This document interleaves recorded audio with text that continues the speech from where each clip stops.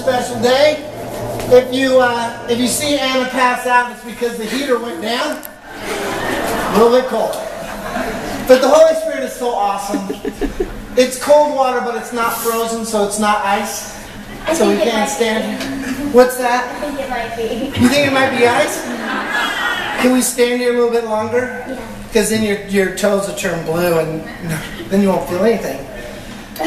This is a really important day, and, and Anna has spent time contemplating this. This was not something that she just jumped into.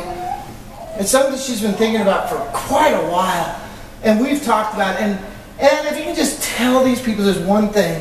Why are you doing this today? Because I believe that Jesus died on the cross, and I believe, that I'll be with him forever. I want to ask you something. We've talked about this a million times. We know this is a commitment to the Lord. Are you going to follow Jesus for the rest of your life? Yes. And I can, I can tell you, and, and a lot of you don't know, some of you were here one day when she was playing with us, but as a young lady, she's, she's part of my worship team. She plays the guitar on the worship team, and it is my, my prayer, my honest desire that when she's 50, she'll still be leading worship, and she'll still be doing it with a heart that is loaded with love for Jesus. Because I can testify for one thing, and, and I don't know inside the heart of anybody, but knowing her, I know that her heart desires to follow Jesus. So we're doing this right now to commit, not just to Jesus, but to you guys. I want you to be witnesses to this great and wonderful day.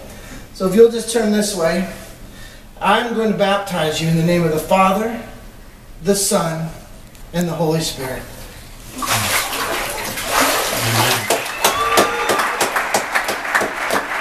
And there you go.